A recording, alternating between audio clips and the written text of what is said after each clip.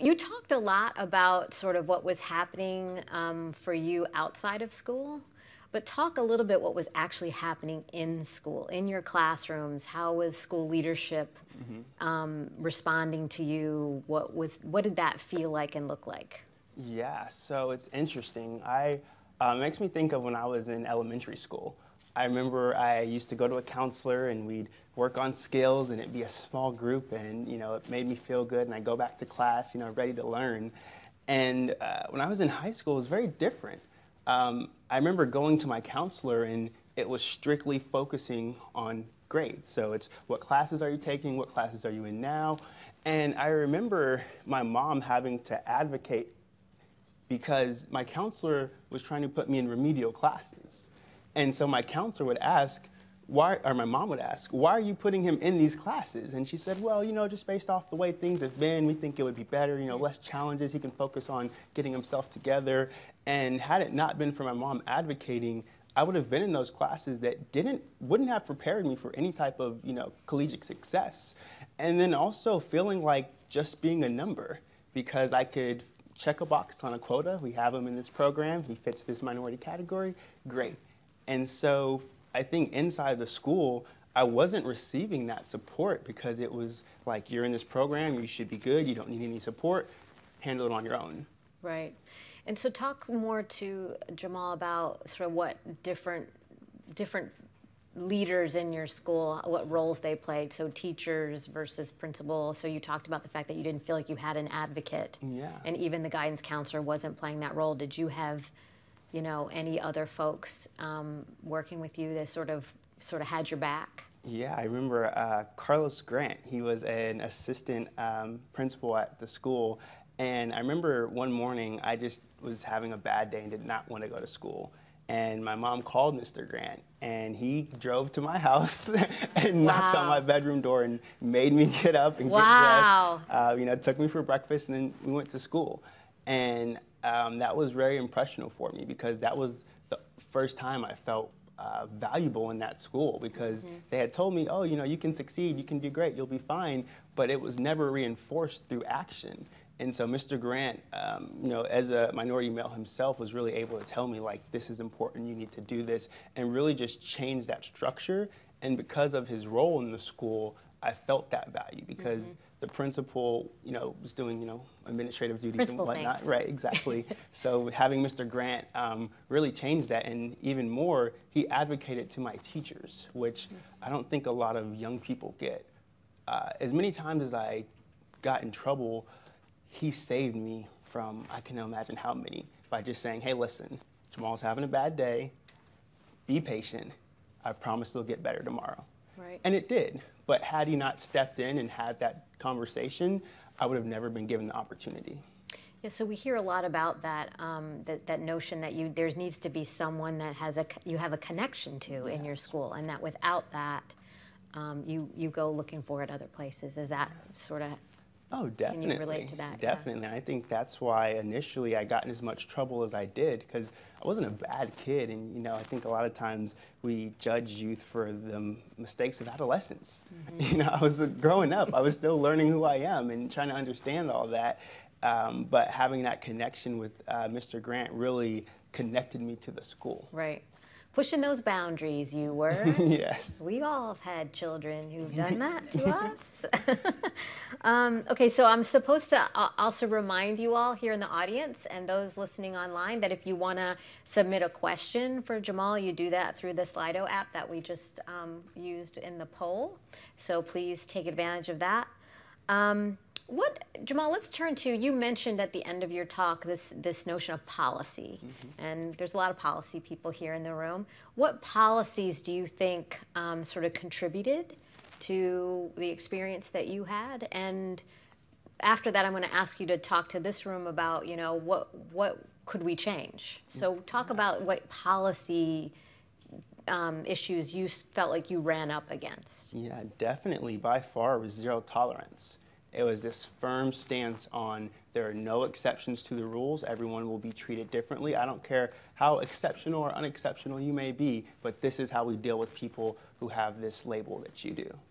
And so for me, um, when I was uh, arrested my second time, it wasn't an incident related to the school. I had never gotten in trouble at school, uh, but because of the charges, my school expelled me. I hadn't even gone before a judge yet. I didn't even know I had been in trouble yet. I hadn't mm. spoken to any law enforcement officials.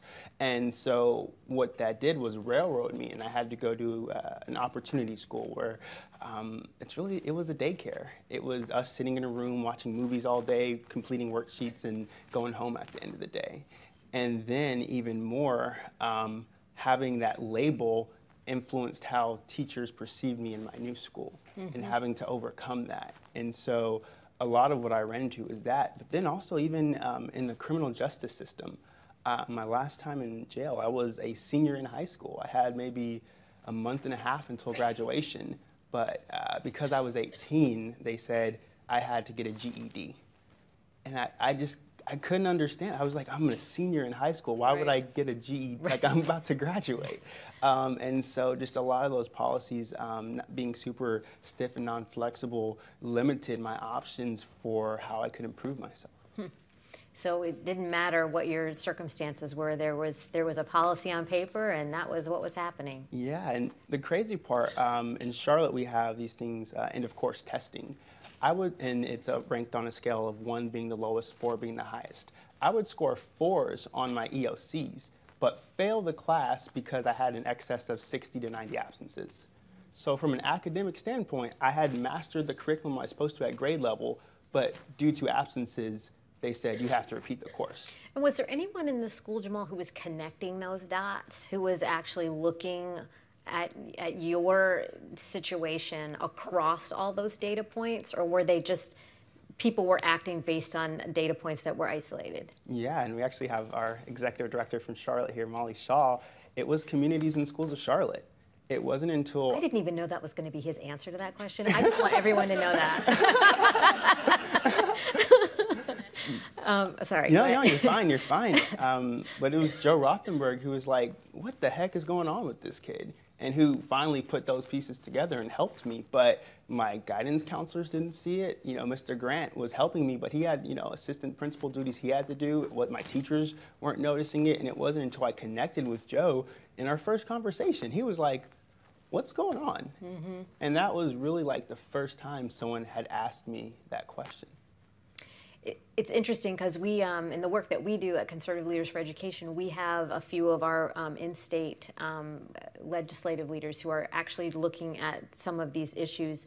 Um, to the panel that we saw earlier, this notion of um, why are there more security guards than there are counselors? Well, th- that's somewhat of an overreaction to school violence, you know, mass school violence. Um, uh, incidents. And so there's been a lot of looking at how do we figure out how can we have more people in a school who have access to this data that, that takes all of these data points into consideration and not just, you know, push pulling certain levels. So I think that's a really interesting um, perspective that you have on that from from the from the student perspective of who here's who here's looking at me based on all of my all of my data points, all of my achievements, mm-hmm. um, and not just you know what they want to look at in terms right. of what my record is. Um, so going forward, um, so you talked about zero pol- zero tolerance and sort of the notion of once you got into a category, you couldn't sort of get out of that category. Um, what kind of policy recommendations would you make to the folks in this room or things that they should be thinking about and looking at um, that would have changed the experience that you had?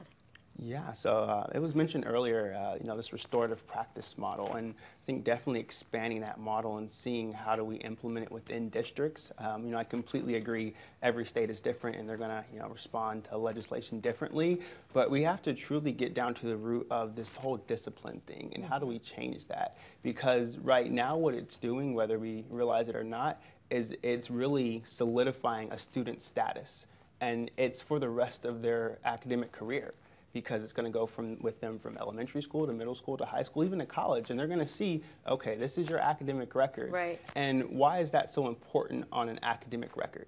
Now, you know, if a student has committed an egregious crime, I, you know, fully agree. It definitely should be, you know, notified to the school. But for small instances that are really based off of cultural differences and a misunderstanding, that shouldn't have to be the trajectory that that student will be placed on, and it shouldn't influence how their future teachers will treat them. Right. And so, really looking at how do we change that, and it's not saying that we have to overhaul the whole system, but we're seeing the negative consequences of it, and it's only getting worse and worse and compounding. And so, it's really up to us now to change that policy and also reevaluating the relationship between school police officers and the students in which they're sworn in to serve, mm-hmm. and really enhancing that.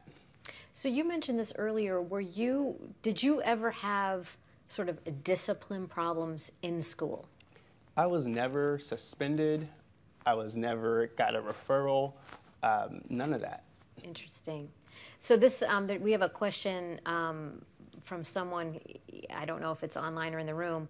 Were your teachers notified of your legal status, and if so, did you receive different treatment as a result of that?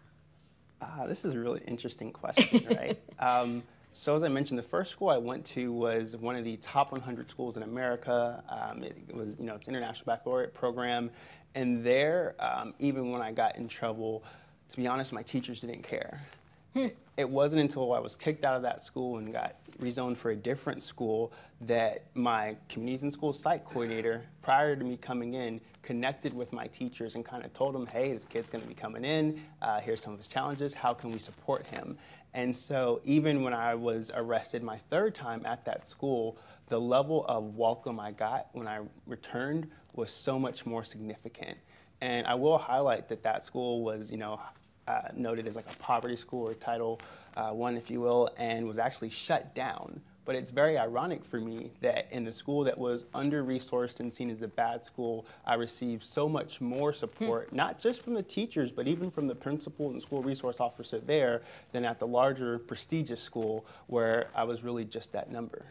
And they and, and the teachers there were sort of like, "That's not my problem." Exactly. That is sort of the feeling you got.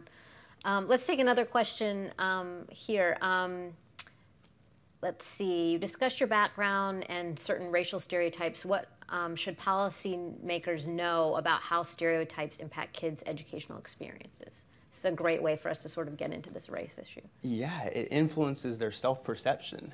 And I don't think that we realize that. And that when we're telling them that you're this, you're this, you're this, uh, and they receive that message consistently, they start to believe it, and it really becomes that self fulfilling prophecy.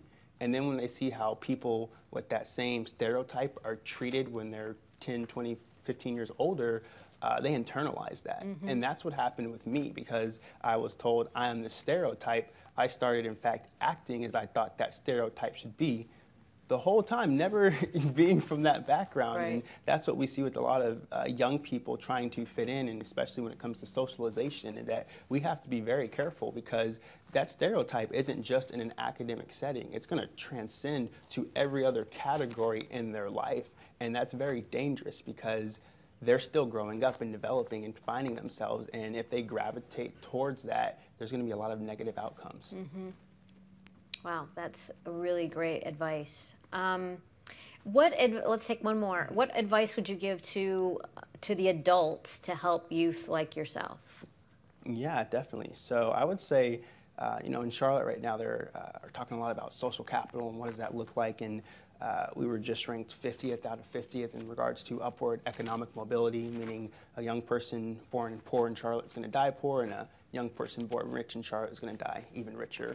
And I think some simple things we can do are advocate, right? Um, and seeing things through to the end. So if you're helping a young person, it's more than just sending an email on their behalf, but following up to make sure that it was actually um, fulfilled and they got the support that they needed. And we're not all, you know, boots on the ground. You know, I'm sure just like you know, we're busy people, um, but also connecting them to resources that are privileged to you and your network, right?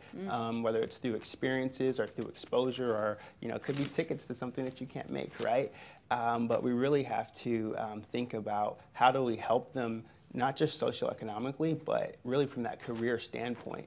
Because I believe this boils down to economics, and that if a young person has access to develop skills to whether go to school or trade or career or military, they're not going to make the decisions that we Mm-hmm. unfortunately see a lot of young people making. So let's talk a little bit more about that because I'm I think that, that that notion of social capital is really really important. Um, th- that it's not just how you score on your SAT or what even college you might get into or what you know um, certification program you go to. It's sort of the network of people that you know, Yeah. right? So how did you navigate that?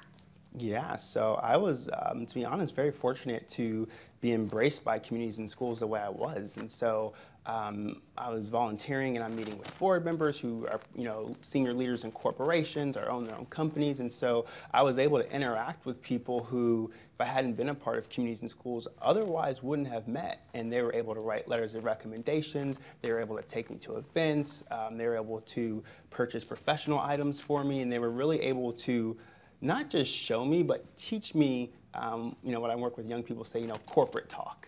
Because for a lot of young people, it's hard for them to code switch and understand what's professionally appropriate, what's socially, what's personally appropriate, and having them to show me that in their everyday lives. It wasn't a fake, oh, okay, I'm gonna come, you know, take you and take pictures with you and show how much I helped. But hey, it's a Saturday afternoon, I'm going out to, you know, this place, let me show you how this is done. And so for me, that was really enlightening because um, I hadn't experienced that before. Right. Do you, um, this is a slightly off topic, but do, you- do you um, feel like you had in this sort of capacity that, and, and ever since I think it sounded like from about 17 or so, did you have certain sort of mentors in your life that you were sort of like your go to people when Oh, you had questions about stuff like this? Definitely. I mean, I think mentors got me through it because um, academics was never the challenge for me. It was always that personal side. And having mentors who truly took me in, who not just, like I said, it wasn't just this for show thing, but it was this consistent, intentional relationship that now has developed over time and evolved. And so I think that's a key piece. You know, we talk a lot about mentorship, and I'm very uh, cautious when using the word because, from my experiences and understanding, mentorship is a lifetime commitment. Because you can't tell me Right. you're going to help me today, and then in a year from now, I reach out and you say, "Oh, I'm sorry, I'm too busy to speak with my assistant." Hey, it's Right. you know, so it's okay. You know, we can help and coach and guide and all of that, but when using the term specifically mentor, understanding that that is a lifetime commitment, and you are family from that point. And Right. with family, no matter how crazy they are, So that's a great piece of advice, I think, for those of us who are a little further along in our lives. Um, that that that word is not one that we should take lightly because you don't take it lightly. very much so. Um, so that's really great advice. Um, so I've been asking you a lot of questions. Yeah. Um, do you have questions for this group? Do you have questions that you hope we go out and try to answer and solve based on what how this has all played out for you? I'm, I would like to know um, at what point is it time to take action? Um, as a millennial, we've seen a lot of conversations, and they're great and they're needed. And I think because of our energy, you know, we're anxious to help, you know, change the world. But I'm curious, how do we move forward? You know, understanding that policy and legislation takes time and election cycles and all that. But for a young person, how can we take that action? Because we realize maybe you all can't, but there's things, whether it be grassroots or what have you, that we can do. And I think I would be curious to know what the audience's um, perspective on that is because um, we've seen a lot of conversations. Yeah, yeah. So, what is action for you? What, what, what, what would you say? There it is. I see it. There, it's happening. I think action would be the progressive attainment of a goal. And and for you, that is um, whether that's sort of in the town you live and work in now, or nationally. I would say both. Yeah. um, we're in a global society today. So to, for young people, we're not just thinking about our cities or our towns or our states, but looking at what are we doing and then how do we connect and leverage that with people from maybe halfway across the world. Right. Well, I think we are. I don't really know what time it is, but I think we're um, we're wrapping up, and and I just I just want to have I want to just one other question for you, which is again back to sort of this policy, this notion of action that you just raised, is sort of what level of leadership. I mean, so there's leadership at a school level, there's leadership at a community level, there's leadership at a state level, there's leadership at a, at a national level. And we've talked about those different levels of leadership a lot here today. So as, as you eh, navigated this, this system that we've designed, you know, what level of leadership made the most difference for you? And, and so when, you, when you want that action, where would you have us train all of our, you know, energy first? Yeah, I think, you know, it makes me think of the saying, all politics are local. Um, it was at that local level. Um, of course, it was supported from a national effort, but when I think about the people who made the biggest impact, um, it wasn't a president, it wasn't a CEO, you know, it wasn't a senator, it was, you know, Joe and Reggie and all the other folks. And so I think it's going to be those people who are closest um, to the population. However, they do need that national support because right. there is a lot of burnout in dealing with these issues. Right. So there is that connection that Secretary Duncan talked about that that, that there needs to be a philosophical um, direction set, even if that action is occurring locally. Um, but I think you know proximity matters, mm-hmm. uh, and um, so I think that's that's really interesting advice that that you have for us. So I'm just gonna close us out here and just point out that Jamal has like the coolest socks on, and I think we have had yes, those are awesome. We've had good socks all day today. I feel like, uh, but I think you get the prize at the moment. So thank you, thank, thank you. Thank you. Yeah.